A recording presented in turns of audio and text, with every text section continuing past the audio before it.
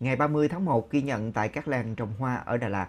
Hoa đồng tiền được thu mua ngay tại vườn có giá từ 120 đến 150 ngàn đồng một bó 20 cành.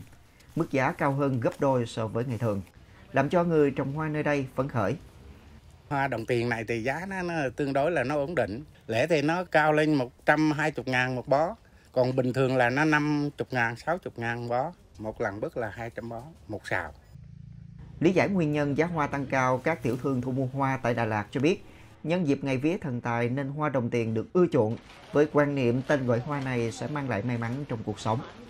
Hoa đồng tiền hiện nay đang là mặt hàng nóng bỏng nhất thì thần tài hay sử dụng màu đó là màu đỏ và màu vàng thì hiện tại đồng tiền mini các bạn sẽ mua chỉ với giá là tầm 120 100 đổ lại đó với giá bán lẻ.